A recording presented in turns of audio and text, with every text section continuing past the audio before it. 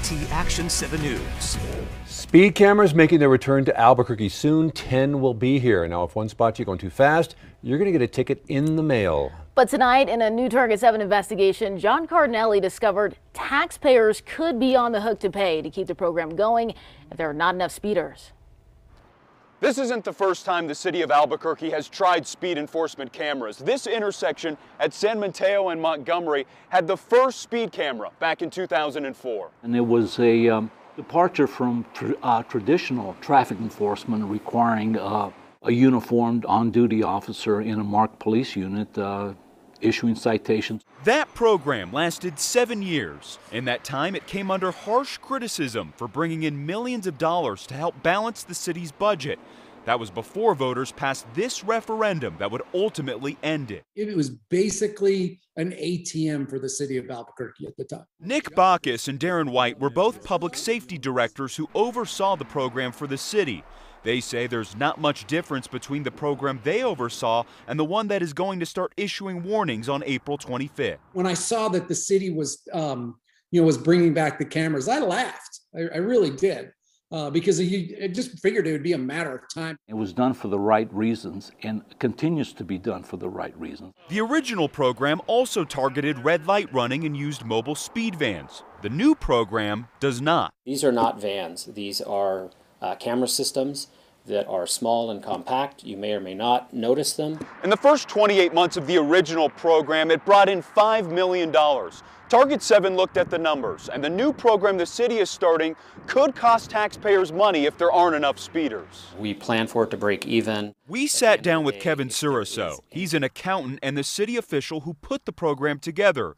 We went through all of the expenses and how much money the fees would bring in. He expects each one of their speeding cameras will ticket 800 motorists per month. If it does, and after all of the bills are paid, it will generate about 2.3 million per year. At the end of the day, if there is any additional funding left over after we pay the expenses and the costs, that will sit in a special fund for the Vision Zero program. That program was started by Mayor Tim Keller to have zero traffic fatalities by 2040. Last year we took 85 fatal crashes in the city of Albuquerque. But what if the cameras don't ticket the number of speeders the city estimates? Target 7 pulled up this study from 12 years ago. White commissioned the report to help determine if the city should keep the program. According to the report, each of the city's 20 cameras issued on average about 102 citations a month. If history repeats itself, that would mean taxpayers would be on the hook for about $890,000 per year. The city doesn't see that as a concern. We're actually a little more concerned that we might maximize or max out our capacity to write citate or to send citations. So how is the city making so much money nearly two decades ago?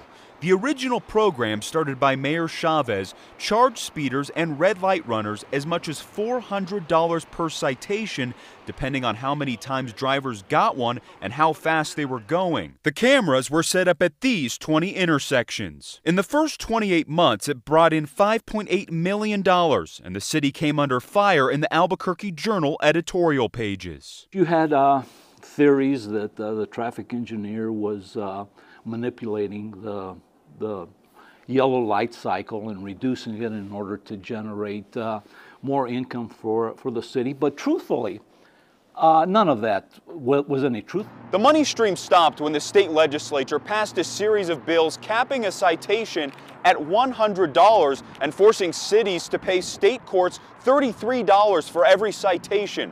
White was in charge of the program when it ended. It had more to do with the money going into uh, uh, the state coffer or the city coffers uh, than it did about uh, reducing uh, crashes. There's no reason that a family should go through this. Erica Chavez's family wishes the program never went away.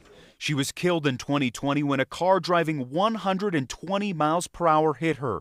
She died in front of her child. I just hope that, you know, this definitely helps, you know, save somebody's life. For Target 7, I'm John Cardinelli.